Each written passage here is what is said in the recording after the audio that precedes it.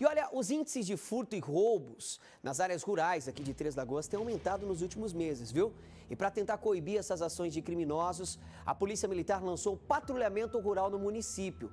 Eu preparei uma reportagem especial, acompanhei um trabalho aí das equipes que têm a responsabilidade de fazer esse tipo de patrulhamento e você vai acompanhar comigo numa matéria muito bacana. Agradecer aí ao cinegrafista Rosildo, Rosildo Moura que foi com a gente. Alô, Rosildão, um abraço para você. Tá assistindo a gente, né, Rosildo? Valeu, tamo junto. Então roda aí a matéria pro pessoal de casa também conhecer esse patrulhamento. Vamos lá. Três Lagoas tem registrado nos últimos meses várias ocorrências de furtos e roubos na área rural, o que tem levantado uma preocupação por parte dos produtores rurais que convivem no dia a dia com medo das ações dos criminosos. Para se ter uma ideia da situação, de janeiro a agosto, mais de 12 furtos foram registrados em propriedades rurais. Como é o caso do produtor rural Nasser Moreira, que teve o seu sítio invadido pelos bandidos. Segundo ele, após a visita indesejada, o prejuízo deixado pelos bandidos foi grande. Isso, eu fui roubado nessa propriedade por sete vezes. Na verdade, são seis animais é, seis roubos e sete animais. E na outra propriedade, uma vez, no ano passado, um animal. Eles vêm, matam, carneiam e deixam só algumas partes, como couro, cabeça, pé e bucho. Aqui neste local existia uma porteira de aço, que agora, após a ação dos ladrões, deu lugar a este cochete, que é uma porteira de arame. De acordo com o dono desta propriedade, esta é a sexta vez em que os bandidos invadem a propriedade para roubar gado. Um prejuízo de sete cabeças de gado furtadas somente neste ano. Pensando em gerar mais segurança para o homem do campo, foi que o segundo Batalhão de Polícia Militar de Três Lagoas criou a Patrulha Rural. Há dois anos, a guarnição atua com um patrulhamento ostensivo nas áreas rurais da cidade. E a tecnologia serve como aliada. Por exemplo, os militares criaram um grupo de WhatsApp onde mantém contato com os proprietários de sítios e fazendas. Se algo suspeito for avistado, uma mensagem é enviada imediatamente para a equipe de patrulhamento. O proprietário rural vítima dos bandidos destaca que após a criação do grupo, houve uma diminuição nos casos de abigeato, que é o roubo de gado na sua propriedade. Uma sensação de segurança a mais para aqueles proprietários que têm suas propriedades mais afastadas das cidades. Nós temos um grupo na qual nós estamos conectados com eles através do, da, do WhatsApp e toda ocorrência e toda suspeita que a gente tiver, a gente entra em contato com eles imediatamente, eles se prontificam desde que haja disponibilidade de viatura, eles já estão no local. E isso trouxe mais segurança para nós no campo. Nós temos onde se apoiar.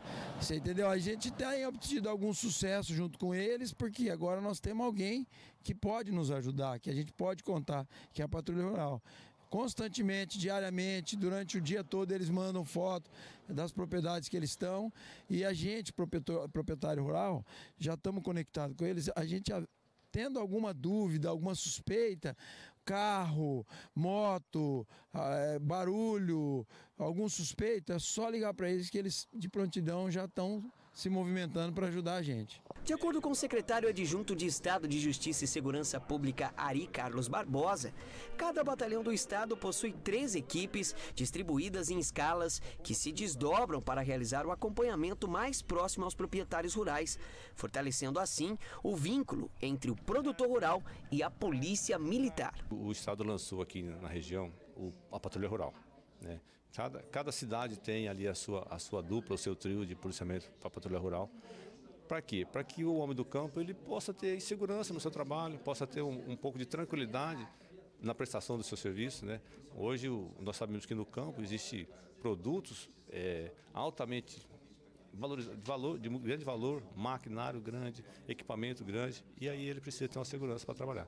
Então todas as, as, as, as cidades têm lá o seu patrulha rural, tem a patrulha urbana, que é na cidade, e tem esse que faz a patrulha rural, que é para dar uma segurança para o homem do campo. Ele está longe dos grandes centros, ele está longe do telefone, ele está longe do 190. Então essa pessoa da patrulha rural ele vai cadastrar as fazendas, conhecer as rotas, conhecer o proprietário, conhecer os funcionários, dar dica de segurança para esses fazendeiros, às vezes fazer uma consulta no nome daqueles funcionários, às vezes tem funcionário está no meio ali, que é fora da justiça, tem passagem pela polícia, tem um monte de coisa. Então ele vai dar um, um, um grande alento para essa população, de forma que você fazendo a segurança lá, você faz segurança aqui também. O Marcos Antônio é um dos policiais que fazem parte deste policiamento rural em Três Lagoas. E segundo ele, a função do trabalho é visitar e colher informações sobre os casos recorrentes. Com base nesses dados, é desenvolvido ações para diminuir o índice de furtos e roubos no campo. A gente faz a visita às propriedades rurais, tenta colher informação a respeito de furtos, que é uma das, uma das coisas que acontece muito na nossa região, que até é, a criação da, da, da patrulha rural que retornou a funcionar está com dois anos, é, a gente não tinha noção do que acontece no campo, que muitas vezes o, o proprietário está muito distante, ele não vem até a cidade fazer o BO. Com, esse, com essa criação e essa proximidade, a gente passou a ter noção do, do que ocorre no campo, né?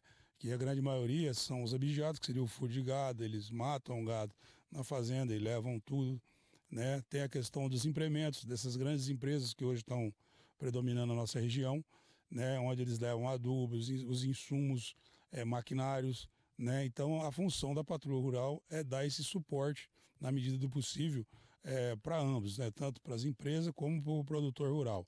Segundo ele, devido à migração dos ladrões para as áreas rurais, a orientação é para que o produtor acione a equipe policial quando houver algo suspeito em sua propriedade a gente até mesmo orienta o, o, o produtor rural, né, que o, os, meliantes, o que você citou, né, realmente eles estão migrando para o campo.